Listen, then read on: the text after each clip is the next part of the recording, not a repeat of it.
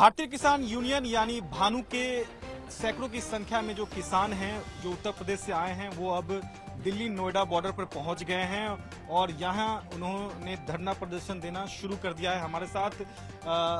जो भारतीय किसान यूनियन के जो राष्ट्रीय अध्यक्ष हैं भानु प्रताप सिंह, वो हमारे साथ इस वक्त मौजूद है, उनसे हम बात कर लेते हैं। ये बताइए, जब वार्ता चल रही है किसान और सरकार के बीच में, फिर सड़क जाम करने की क्या ज़रूरत अरे, सड़क जाम हमने नहीं करी है।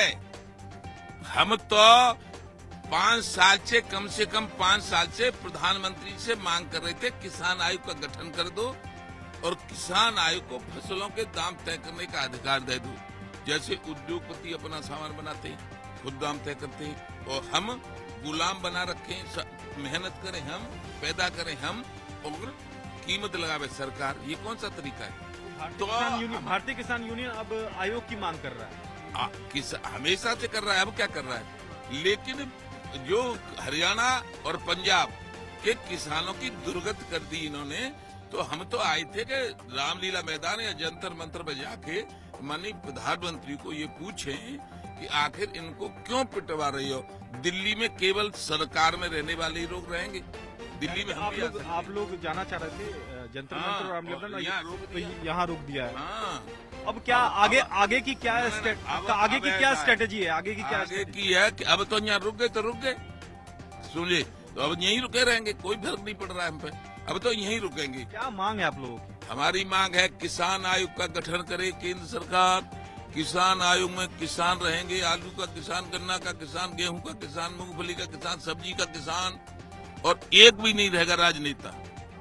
आपको और- है कि कल कल जो वार्ता पहली दौर जो तीसरी दौर की जो वार्ता थी वो विफल रही थी लेकिन फिर कल 12 बजे जो है वो बैठक होने हमें नहीं मालूम है क्या वार्ता हुई क्या वार्ता नहीं हुई। हमारी उम्र हो गई सत्तर साल। और सबसे पहले माननीय प्रधानमंत्री थे राजीव गांधी। आपको लगता है कि कल जो बैठक होने वाली है उसमें बीच का रास्ता निकल पाएगा? बीच को टेढ़ो मेढ़ो कहा हो तो रास्ता जो हम कहें करो। वोट दे के हमारे जिताई दे, मनमोहन सिंह की हमने खिलाफत करी, कांग्रेस की खिलाफत करी, तेरे में आए तब उनने मानी नहीं तो हमने खिलाफत करी, इनका समर्थन किया। अब बीच को टेढ़ो मेढ़ो का रास्ता हो तो है, सूदो आमंद जो हम कहता है, मानो, जब हम वोट डाल के तुमको बना दिया है, यदि नहीं मानना जानते तो बीच का रास्ता कुछ नहीं, त्याग मत दो और प्रधान राष्ट्रपति को सौंपो सरकार। वो वो आपने सुना, राष्ट्रीय अध्यक्ष है, उनका कहना है कि बीच का रास्ता नहीं अब इस कानून को रद्द किया जाए तो आप देख सकते हैं कि जैसे जैसे समय बीत रहा है, वैसे वैसे किसान अब यहाँ जुटना शुरू हो रहे हैं। तो निश्चित तौर पर अब दिल्ली नोएडा बॉर्डर जो है वो पूरी तरह से बंद हो गया है और आने आने वाले समय में जो है लोगों को काफ़ी परेशानियों का सामना करना पड़ सकता है। कैमरा पर्सन कमल के साथ सुमित कुमार, जी मीडिया, नोएडा।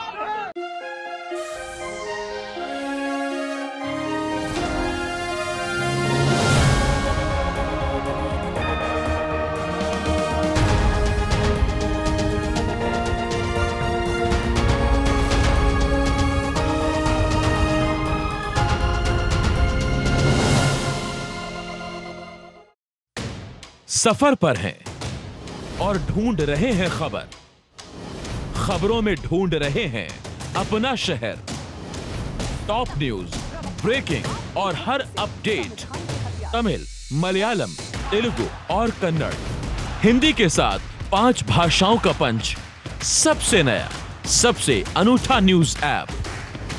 बस एक क्लिक दूर। जी हिंदुस्तान। डाउनलोड करें। और बाखबर रहें।